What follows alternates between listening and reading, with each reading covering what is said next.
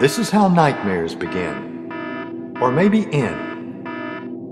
I'd enjoyed smoking the medical marijuana that the Democrats had made possible, and I'd known that the midterm elections were approaching. But I was as uninterested in voting as Sarah Palin is in reading a newspaper. I'd enthusiastically supported Obama and the Democrats in 2008, but by the time the midterms had rolled around, I was disheartened. We hadn't gotten the public option, an end to don't ask, don't tell. There were no torture prosecutions of the Bush administration, and Obama had widened the war in Afghanistan. Even though, in the majority, the Democrats had immediately caved to Republican bullying at every sad opportunity. But instead of doubling down our efforts to promote a progressive agenda, the liberals had decided to just set out the 2010 midterm elections. The economy was in bad shape. We were back to driving colorless cars from the 1940s.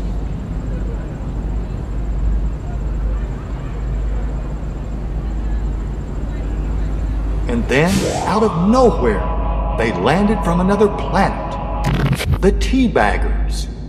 They seized control of our car radios and promoted right wing agendas. They printed signs naming all of the countries they planned to invade. And then they wanted to take over the United States government itself.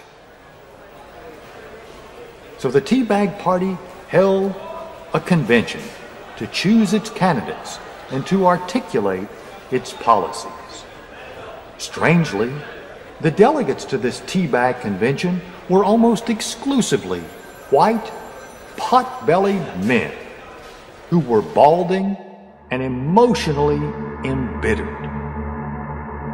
Then they introduced their candidates.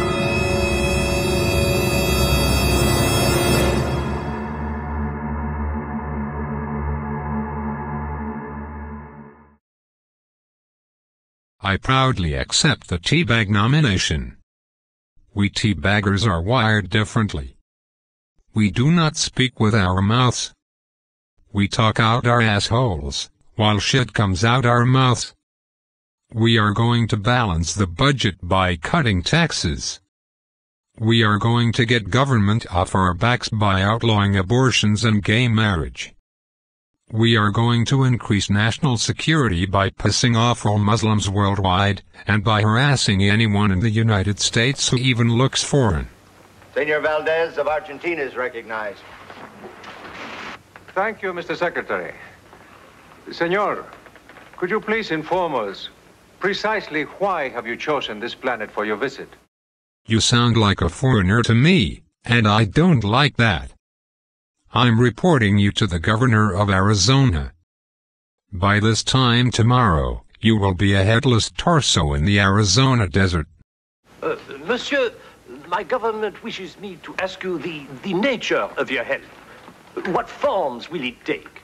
Indeed, if we should prefer not to avail ourselves of the various aids that you mentioned, your reply would be what? Oh Jesus Christ in heaven, a foreigner from France. But in answer to your question, the Tea Bag Party doesn't recognize the results of any election in which conservatives are defeated. Are we to assume that there is no ulterior motive beyond this vast humanity you speak of? Our motivations are quite transparent. The rich should vote for the tea baggers because we want to cut taxes for millionaires. But we have got to fool the middle class and the poor into voting for us.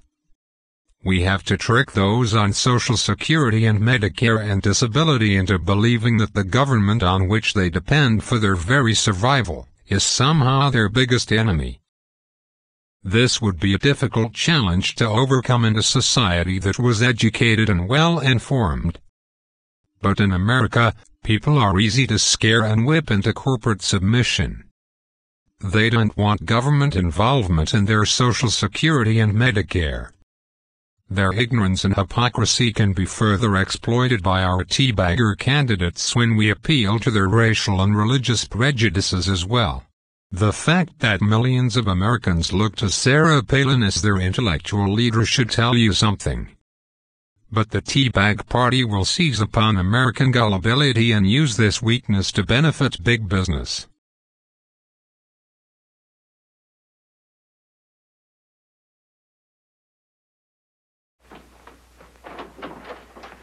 We've licked the title anyway. What does it say? How much does it tell us? Here it is.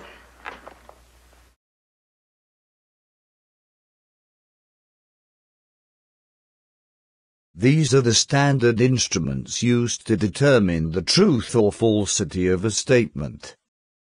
Because the tea baggers are wired up ass backwards, we are going to run a trial examination to see whether members of the Tea Party have physiological responses the same as human beings. Which card more closely resembles the color and size of Tiger Woods' penis? The gray. Again. Which card more closely resembles the color and size of Tiger Woods' penis? The black. Through extensive testing, we have determined that the polygraph instrument can indeed determine the truth or falsity of a teabagger statement. Now, let's ask our teabagger candidate an important question. What really attracts you to brain-dead politicians like Sarah Palin and Michele Bachmann? Watching Sarah Palin and Michele Bachmann and all the blonde bimbos on Fox News wearing the short skirts is the closest thing to porno that our conservative, dried up, hagged out wives will let us watch.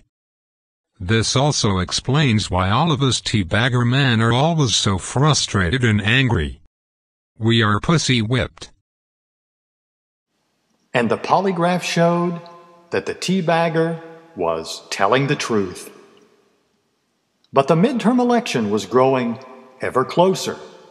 And a newspaper article written by Charlie Cook and Chuck Todd said that the conservatives were pulling ahead.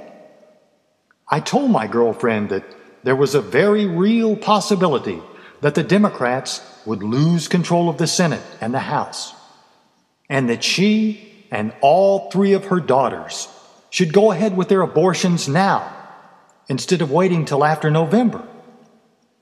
Don't wait until the eighth month, like President Obama would want them to do. She responded that she couldn't afford an abortion now, since subscriptions to her porn site had fallen dramatically following the explosion of her meth lab. I felt compassion for her, so I gave her a coupon that I'd clipped from Hustler magazine. If you paid for two abortions, you got the third one at half price, plus a free hat and two cans of Red Bull. Courageously, my girlfriend said she would continue her valiant attempt to decipher the content of the Teabagger's secret book.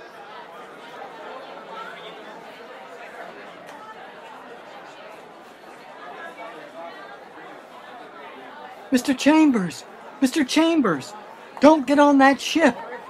That book, screwing the middle class. They're, they're trying to bring back the exact policies of George Bush.